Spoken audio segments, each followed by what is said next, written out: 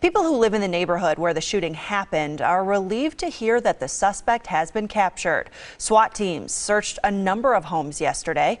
Michelle Fiore is live on Milwaukee's northwest side. She spoke with residents today. Hey, Michelle. Hi, Katie. Well, this letter from property managers to those in this gated community here serves as an eerie reminder that crime can happen anywhere. Now, those we met today say that two days ago they felt safe in their homes. Today, though, that safety sense is shaken.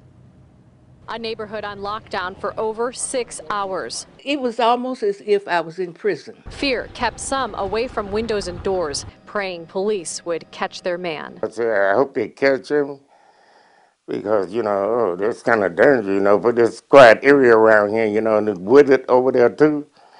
I said, well, I, said, I hope they get him. Oliver Ramirez and his family live on the same block where the suspect, Najee Harmon, reportedly got into an unlocked unit but did not hurt anyone inside. There was patrol cars coming and going all around this road, and there was uh, there were cops in the back as well. Officers spent a good amount of time searching in and out of homes with guns in hand and searching the area by air. We feel better now that our community is going to go back to the way it was, but uh, I think it's going to be a little bit uh, of, a, of a scar. Neighbors thankful that no one was hurt here, but a day later, the memories of what happened when a shooting suspect walked into this house are as vivid as the flowers outside. She was downstairs or outside, and all of a sudden he bolted in and was upstairs and she's like what the heck and she said she's from originally from south chicago so she's you know not afraid of that type of thing Another neighbor out here has a personal connection to Najee Harmon. She tells us he was a former student of hers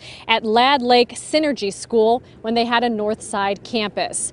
Reporting live tonight on the North Side, Michelle Fiore, today's TMJ4. All right, thanks, Michelle.